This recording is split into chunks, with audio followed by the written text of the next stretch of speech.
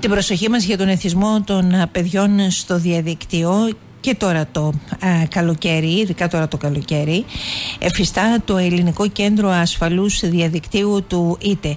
Η αλήθεια είναι ότι το Ελληνικό Κέντρο Ασφαλούς Διαδικτύου είναι πάρα πολλές ε, οι φορές εκείνες που α, μας εφιστά την προσοχή και μας συμβουλεύει για το πώς μπορούμε να προχωρήσουμε, ποια μπορεί να είναι εκείνα τα βήματα ώστε τα παιδιά μας να μην πάνε σε αυτό που λέγεται εθισμός.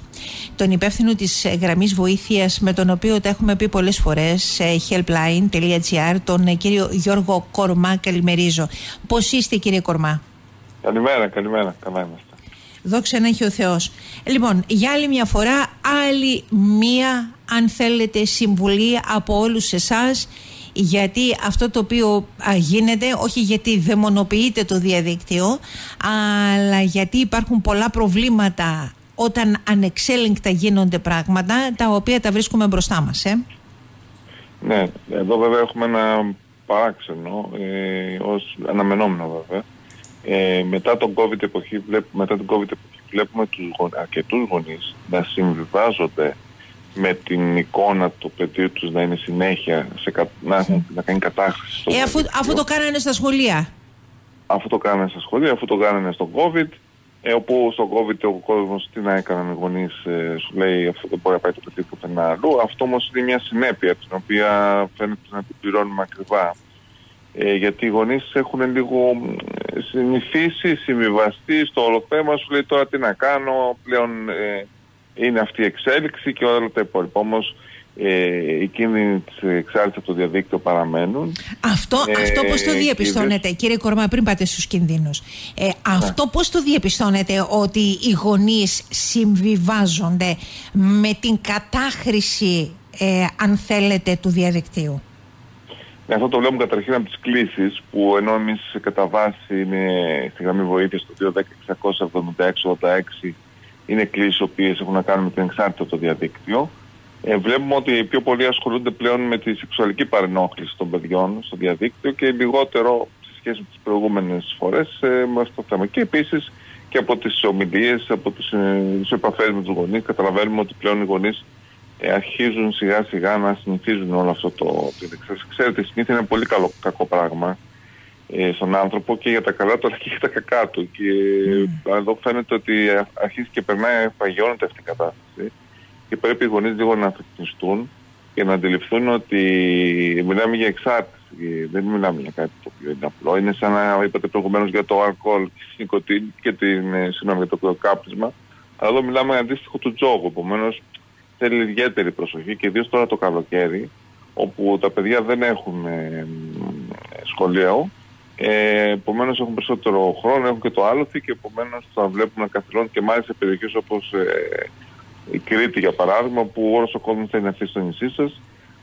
Και τα δικά σας τα παιδιά τα περισσότερα δυστυχώς, όπως όλα τα παιδιά στην Ελλάδα, είναι καθυλωμένα στο διαδίκτυο, δεν βγαίνουν, δεν πάνε μια βόλτα, δεν πάνε. Μα έχει αλλάξει ο τρόπος της ζωής μας, κύριε Κορμά. Δεν έχει να κάνει με την Κρήτη, με το νησί, με μικρό ή μεγάλο, με τον βασικό όχι, κορμό της χώρας. Ε, όχι, δεν έχει πια καμία δυνατότητα να χαρεί οτιδήποτε. Αστικό περιβάλλον, έτσι τα μάθαμε, έτσι τα μεγαλώσαμε.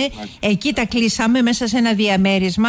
Εμείς πηγαίναμε στη δουλειά μας μέσα σε ένα σπίτι, να μην πω το λέξη διαμέρισμα. Εμείς πηγαίναμε στη δουλειά μας. Εμείς για να τα βγάλουμε πέρα από τι απανοτές της κρίσης κάναμε και δύο και τρεις δουλειές. Άρα τα παιδιά μέσα σε ένα σπίτι με κάτι θα έπρεπε να ασχοληθούν. Δεν ήταν εύκολο να κάνουμε πολλές δραστηριότητες μαζί τους, να βγούμε έξω στη φύση, να τους δώσουμε εναλλακτικές λύσεις.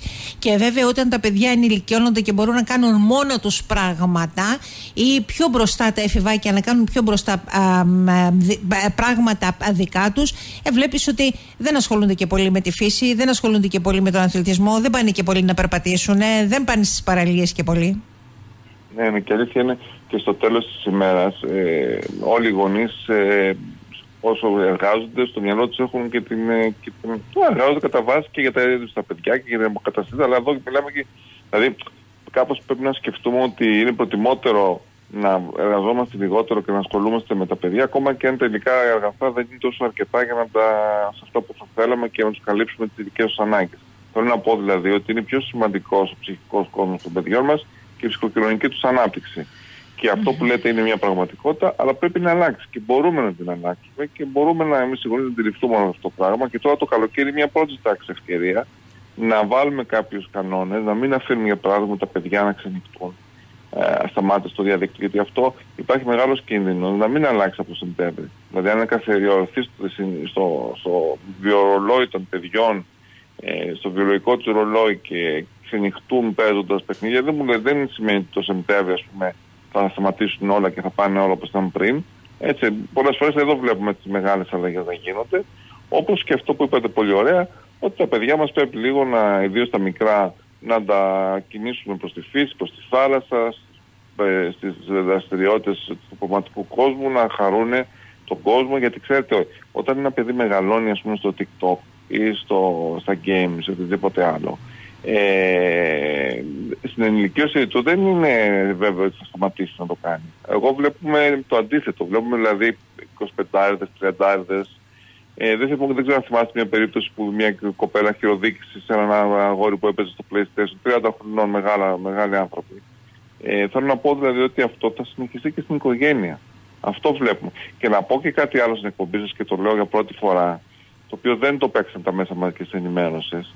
Ε, όταν γίνανε τα επεισόδια στην ε, Γαλλία, τα μεγάλα έκταση επεισόδια, ο Μακρόν βγήκε και κατηγόρησε ε, τα games ότι τα παιδιά θεωρούν ότι βγαίνοντας έξω και σπάνε τις, ε, αυτές οι εκδηλώσεις που κάνουν οι, οι, οι βανδαλισμοί τόση, προέρχονται από την εξοικείωση που έχουν στα games κατηγόρησε το TikTok γιατί προκαλεί την κινητοποίηση και την εξέγερση και την ε, δηλαδή διαγκώνει το όλο θέμα και κατηγόρησε το τέλος και τους γονείς οι οποίοι δεν μπορούν να μαζέψουν τα παιδιά τους. Αδίκως βέβαια και προφανώς γιατί θα έπρεπε και το κράτος ε, της Γαλλίας για παράδειγμα που είχε ζήσει το 12 μια τρομοκρατική επίθεση πάλι από τα παιχνίδια όπου μπαίνουν τα παιδιά και στρατολογούσαν, στρατολογούσαν οι, οι τρομοκράτες και τα οδηγήσαν σε αυτή τη λογική να έχει πάρει κάποια μέτρα. Δηλαδή πρέπει λίγο και να βοηθήσουμε τους γονείς, θέλω να πούμε αυτό, και η πολιτεία και, και το Υπουργείο Παιδείας και όλοι μας, να τους δώσουμε λίγο καλή ώρα όπως κάνουμε τώρα να τους ενημερώσουμε,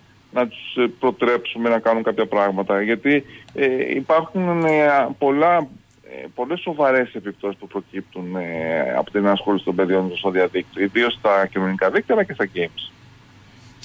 Δεν ξέρω, είναι, είναι τέτοιος ο τρόπος της ζωής μας. Σας ακούω πάρα πολύ προσεκτικά, αλλά σε κάθε λέξη που λέτε, από την άλλη, ε, έχω, καταλαβαίνετε, να σας απαντήσω και να σας πω, μα αφού κάνουμε αυτό, κάνουμε εκείνο, κάνουμε το άλλο. Αφού ο τρόπος της ζωής μας έγινε αυτός, πώς εμείς να απαλλαγούμε από όλα αυτά ή να βοηθήσουμε τον εαυτό μας και τα παιδιά μας. Υπάρχει οδός διαφυγής για τα παιδιά μας και για μας αυτό που περιγράφει πολύ ωραίο ο Καβάφη στο ποίημα του τα παράθυρα, όπου τελικά ίσως δεν θέλουμε να τα βοηθήσουμε τα παιδιά, γιατί τρομάζουμε ε, τι θα δούμε. Δηλαδή, αρχίζω και τη λαμβάνομαι ότι ίσως τελικά δεν θέλουν αρκετοί γονείς να βοηθήσουν τα παιδιά τους. Γιατί όταν πας σε ένα 15χρονο, 16χρονο και ανοίξεις το θέμα αυτό και μπεις σε μια διαδικασία να δεις γιατί το παιδί ας πούμε είναι επιθετικό, γιατί το παιδί κλείνει στο δωμάτιό του και δεν είναι και με κανέναν, γιατί το παιδί ε, δεν έχει καμία επαφή με τον πανικό κόσμο. Και θα διαπιστώσεις και τα δικά σου τα λάθη και, τη δική σου, ε, και τις δικές σου αδυναμίες και τις δικές σου και τις, τους δικούς σου δηλαδή ε, προβληματισμούς. Και δεν ξέρω κατά πόσο ένας γονισμός μπορεί να διαχειριστεί όλο αυτό. Θέλω να σου πω δηλαδή δεν είναι τόσο απλό, δεν είναι τόσο απλό. Αχ μωρέ, τα ψηφίσαμε ένα παιδί έφτασε 16 χρονών, 17 και ε, είναι το διαδίκτυο, φταίει για όλα, δεν ξέρω εγώ τι. Μάλλον εμείς φταίμε. Και δεν μπορούμε να το σηκώσουμε αυτό σαν ευθύνη. Το καταλαβαίνετε τι σας λέω. Δηλαδή, εκεί φοβάμαι πλέον. Ε, νομίζω ότι έχουμε περάσει σε αυτό το, το στάδιο. Και απ' την άλλη, βέβαια, είναι αυτό που βλέπουμε και στην Κρήτη, το βλέπουμε και σε όλη την περιφέρεια, ότι η ίδια λογική που αφήνεις ένα παιδί χωρίς κράνος να οδηγεί και να κινείται με το μηχανάκι, ας πούμε, και χωρίς δίπλωμα και να σκοτώνει το ένα παιδί πίσω από το άλλο και να σοκάρεται η κοινωνία, ε, η ίδια λογική είναι να αφήνεις και το παιδί σου ανεξέλεγκτο ε, από τα 7-8 χρονών να του παρενοβείται το κάθε ψυχικά ταραγμένο από την ηλικία των 10 και 11 ετών και να το μαθαίνεις και να το ξέρεις και να το, το βιώνεις και να μην κάνεις τίποτα. Η λογική ότι δεν θα συμβεί σε σένα. Είναι, είναι κάτι που το αντιμετωπίζετε αυτό, δηλαδή. ε, όχι, όχι. Άλλο, άλλο, θέλω, θέλω να ρωτήσω το συγκεκριμένο, βάσει αυτό που είπατε. Υπάρχουν αυτή την ώρα γονείς που έχουν το θάρρος να σας πούν ζητώντας την ε, βοήθειά σας στην ε, γραμμή Safe Line ότι ξέρετε φοβόμαστε και να ανοίξουμε κουβέντα με το παιδί μας γιατί δεν ξέρουμε πώς θα αντιμετωπίσουμε τις δικές μας τις ευθύνες. Αλλά όταν παίρνουν όλοι οι γονείς που παίρνουν, φανταστείτε 100 στους 100 γονείς θεωρούν ότι το διαδίκτυο φταίει και τα παιδιά τους και ποτέ κανένας δεν σηκώνει το, το βάρος της ευθύνης. Προφανώς. Ή όταν ρίχνουν ο ένας γονιός στον άλλον. Προφανώς. Ε, ξέρετε, ο άνθρωπος δεν είναι δύσκολο αυτό. Αλλά από την κουβέντα και από τη συζήτηση διαπιστώνουμε ότι ναι. Υπάρχει ένας φόβος να ανοίξει αυτό το θέμα. Γιατί θα ανοίξει, θα δω όλοι μου ότι θα εξηγημονωθώ κι εγώ. Ωραία. Προφανώς. Πώς μπορούμε να γίνουμε. είναι και προφανώς ναι. η λογική αυτή που σας είπα και προηγουμένως, ότι δεν συμβαίνει σε μένα, δεν πρόκειται να συμβεί στο δικό μου το παιδί ποτέ. Είναι η ίδια λογική που ένα παιδί κινείται χωρίς κράνος σε όλη, σε, όλη την, σε όλη την Ελλάδα, ας πούμε. Δηλαδή, κινείται ένα παιδί, φανταστείτε ένα παιδί 15 χρόνια αυτή τη στιγμή, με μια μηχανή, βγαίνει το βράδυ, κάνει σούζες, χωρίς κράνος, τι πιθανότητες έχει να σκοτωθεί; Εγώ πηγαίνοντα εγώ πηγαίνοντας πολλές φορές για να σας το κάνω προσωπικό, ε, δίπλα σε ένα εφηβάκι και να ρωτήσω πράγματα για το διαδίκτυο, νιώθω πραγματικά ότι είμαι αναλφάβητη μπροστά σου. Ένα παιδί από τα 14, 15, 16, εγώ νιώθω στα 60 μου ότι είμαι αναλφάβητη. Τελείως όμως, κύριε Κορμά. Πώς μπορώ να γίνω μέρο. Δεν είστε αναλφάβητοι στο κομμάτι της γνώσης και της τεχνολογίας. Είστε αναλφάβητοι στο κομμάτι της, ανα... της της, το τι κάνει το παιδί εκεί. Αυτό είναι μεγάλο. Ο πάντα ήταν αναφάβητοι γονείς. Δηλαδή, όταν ας πούμε και εμείς, όταν είμαστε μικροί ε, και βγαίναμε κάπου, ας πούμε, ήξεραν οι γονείς τι κάνουμε και πώς κινούμαστε. Όχι. Ακριβώς το ίδιο είναι γίνεται εδώ. Δεν, έχει, δεν είναι θέμα τεχνολογίας αυτή τη στιγμή. Είναι θέμα ότι τι κάνει το παιδί μου και αν εγώ μαθαίνω τι κάνει το παιδί μου. Ωραία. το ε, δέχομαι ε, αυτό που Ακούστε με λίγο. Όταν είναι ένα παιδί 10 χρονών, ο μπαμπά του είναι 40 και είναι και αυτός στο διαδίκτυο. Εγώ θεωρώ διανόητο δηλαδή ένας γονιός ο οποίος είναι 30 και 40 να μην ξέρει ότι όταν βγαίνει το παιδί του που είναι 10 στο TikTok θα έρθουν οι παιδεραστές και θα το παρενοχλήσουν, θα έρθουν κάποιοι κακόβουλοι και θα του ρίξουν ελληνικές φωτογραφίες και θα το βρίσουν και θα το ξεφτυλίσουν. Είναι αυτονόητο, ξέρει ο γονιός αυτό. Δεν υπάρχει αυτό. Ξέρετε, εγώ ασχολούμαι με το θέμα 15 χρόνια, το ξέρετε πολύ καλά. Παλιότερα ναι, είχαμε αυτό το πρόβλημα. Τώρα είναι γνώση το κάνει ο γονιός αυτό.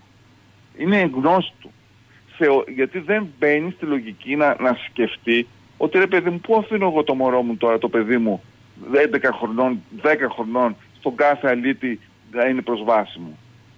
Θυμάστε, οι, ακρο, οι ακροατές μας, οι άντρες ιδίως που το, που το λέω, δηλαδή όταν κάποιος έμπαινε στα ηλεκτρονικά που αλλιότερα ή στην, ε, στα μπιλιάρδα ή πιο παλιοί ή οποιοδήποτε άλλος μπαστώσει, ένα ενήλικα, το κοιτάγαμε όλοι περίεργα γιατί είμαστε πιτσιρίκια. Αυτό τώρα το ξέρουν. Εγώ δηλαδή ε, αυτό που αντιλαμβάνομαι είναι ότι το γνωρίζουν, θεωρούν ότι δεν θα τύχει σε αυτούς για κάποιο λόγο που δεν μπορούν να καταλάβουν ποιος είναι αυτός. Έτσι. Και από εκεί και πέρα ε, συμβιβάζονται και λειτουργούν σε αυτό το κομμάτι. Αυτή είναι η πραγματικότητα. Και ποιο είναι το άλοθη; Το άλοθη είναι ότι ε, το κάνουν και οι άλλοι και όλοι το κάνουν. Επομένως, εγώ τι να κάνω και αφού δεν μπορώ αφήσω το παιδί μου, το αποκλείσω, δεν μπορώ να με, να με ταλαιπωρεί, είναι και χειριστικά τα παιδιά από την άλλη. Αυτή είναι η πραγματικότητα. Τώρα μπορεί κάποιος που μας ακούνε να στενοχωριούνται, αλλά ξέρετε, το καταλαβαίνω, το λέμε με αγάπη, το λέμε με, γιατί εμείς βιώνουμε καθημερινά, ας πούμε, πολύ σοβαρά θέματα, σεξουαλικές παρενοχλήσεις, εκβιασμούς, ε, άσχημες καταστάσεις. Παιδιά που φεύγουν από το σπίτι τα καταλείπουν γιατί δεν, δεν ε, χτυπάνε τους γονείς τους, πάνε τις πόρτες. Δεν είναι δηλαδή κάτι που τόσο απλό ας πούμε.